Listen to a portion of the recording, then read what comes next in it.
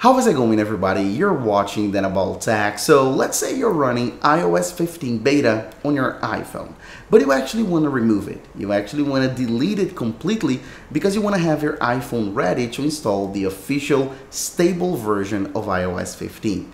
Lucky for you, the process is actually very, very simple and it doesn't matter if you're on a developer beta or a public beta and if you're on, if you're on beta 7, beta 8 or on the GM.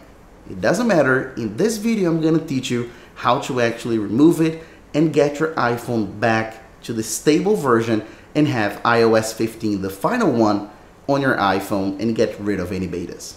Let's get started. As I said, the process is actually very, very simple. All you gotta do is go to your settings and then you're gonna scroll down to general and then scroll down a bit more and go to VPN and device management. Tap on that and then you'll see right here configuration profile. You're gonna tap on that as well. And then as easy as that you'll remove the profile. Right now it'll ask you to actually type in your passcode. That's just lock screen passcode so type it in and then hit done. And then as easy as that it'll say remove once again just to confirm so remove it.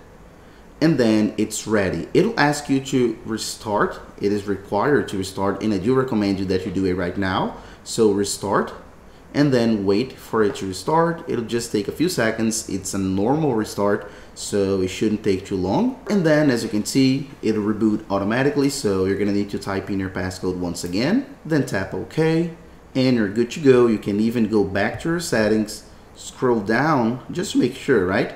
Scroll down to general, and then uh, VPN and device management, and you'll see that you don't have a beta profile anymore right here on your iPhone. Now, there's one thing that I want to explain that's super important and I want you, and I want you to understand right now.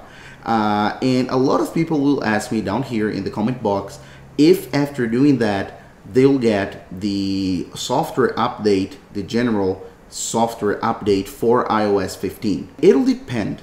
It'll depend a lot on when you're doing this. So if you're doing this right now, so I'm doing this on September the 10th, as you guys can see, or if we're doing this up until Apple's event, which will be on September 14th, yes, you will get a prompt right here to update to iOS 15 when Apple releases it and makes it available to the public. Okay, and that's because if you're doing this on the next following days, 10, 11, 12, and 14th, you'll be on beta 8. But if you're doing this after Apple releases the official version of iOS 15, so if you do this on September uh, the 14th or 15th or 16th, you'll probably most likely will be on iOS 15 GM, so the Golden Master version. And the GM version is already the final stable version of iOS 15, so we will not get the prompt, the notification to, to update to iOS 15 because you will already be on iOS 15. So that's,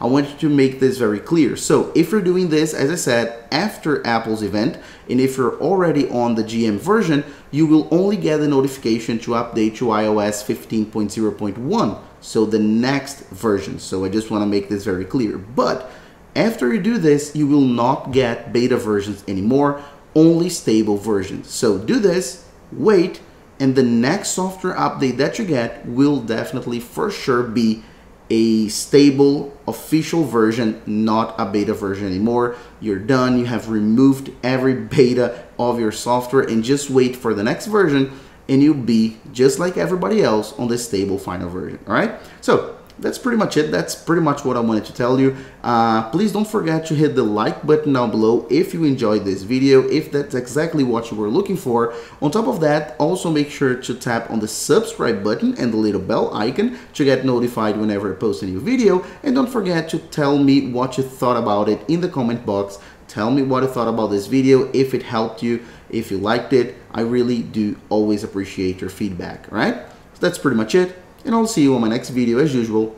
Bye bye.